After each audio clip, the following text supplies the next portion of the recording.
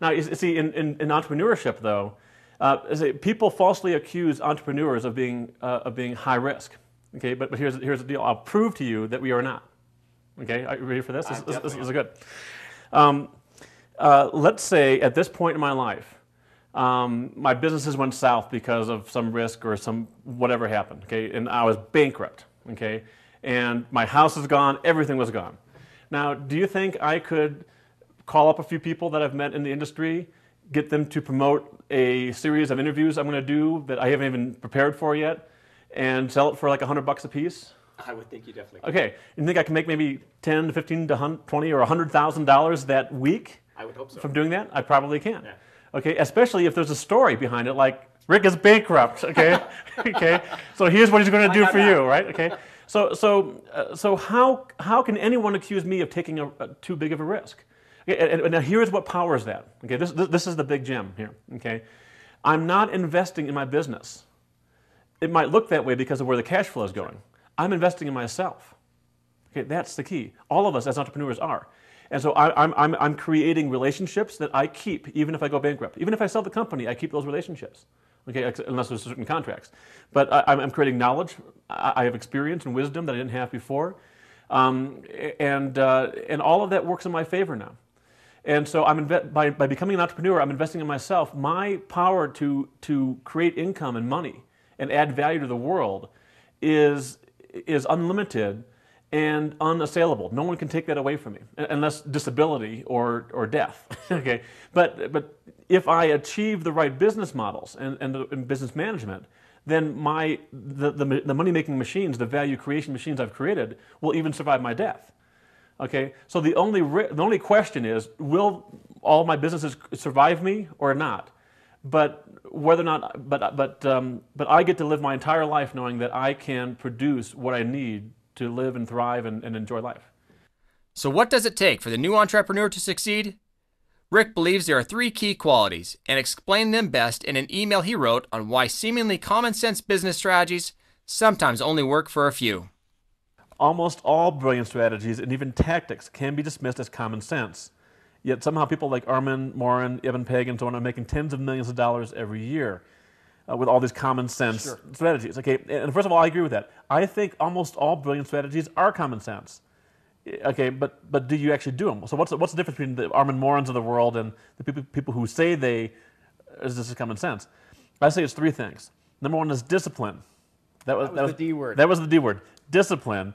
Actually doing the things you know you should do. That's the key right there. Okay. It goes into passion because passion gives you the power to do the thing you want to do but, but really, it comes down to discipline. Um, doing the things that you know you should do. Humility, so you put yourself in a position to learn new things that you should be doing. And then mastery, that which you only get from doing it. You see, you know, here we are earlier today, we were recommending people do interview products as their first product for a whole lot of good reasons. I mean, a lot of good reasons. But are they going to make $100 million from their interview product? No. Okay? Well, guess what? Brevity is the name of this new course we have because we're summarizing everything.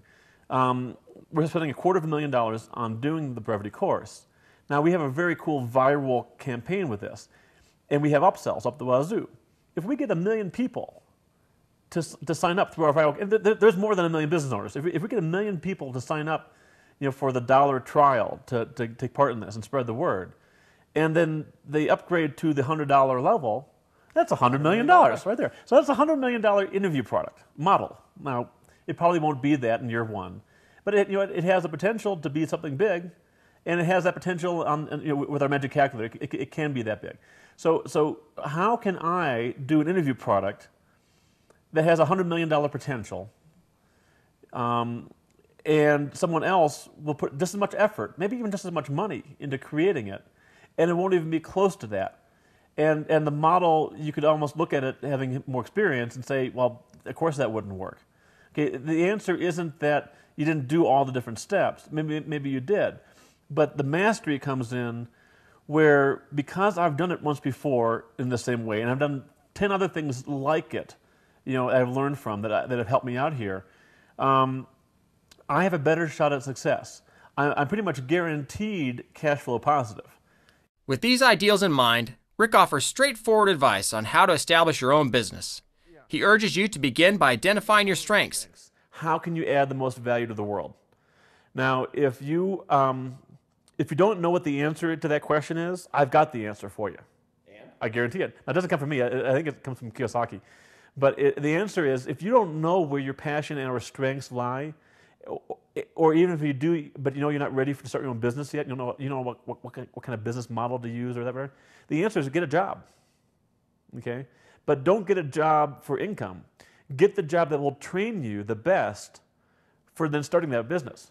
Okay, so when I, when I read that in Rich Dad Poor Dad, I was like, yes, that's the answer to all these people who ask me these questions, and I know I can tell instantly that they're not ready. Okay, it's the answer is okay. You want to be an affiliate? Okay, go get a job at Nitro Marketing, working as affiliate manager.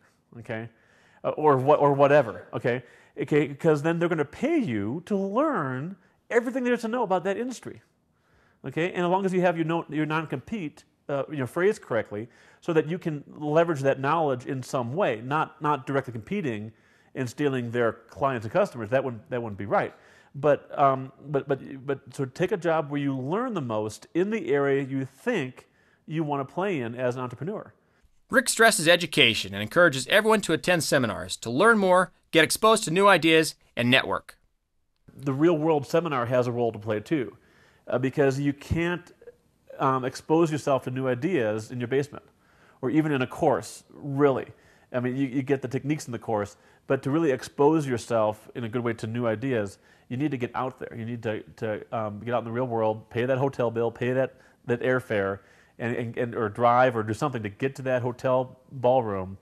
We meet a bunch of different people doing something, and, uh, and, and, and, and, it's working for them. Um, and, and in general, I would say go to the more expensive seminars, okay, but not the ones that promise to give you a business, okay? Because the ones that promise to give you a business, uh, those are more likely the, the scams. Now, there are definitely exceptions. I'm not, I'm not saying that it is a scam.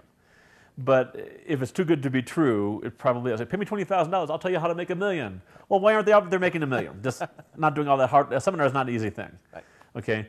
But, but if it's $20,000, and you're going to meet you're going to meet Richard Branson, and you're going to do this, and we're going to have this speaker, that speaker, and and and you, will be able to join the networking club that we're going to keep on going for the next year. I'll pay twenty thousand dollars for that club.